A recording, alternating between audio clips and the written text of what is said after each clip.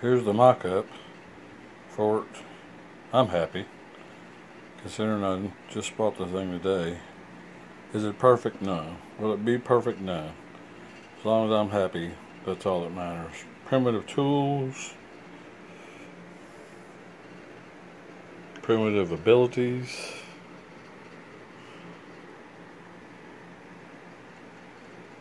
but I'm just looking for something to enjoy.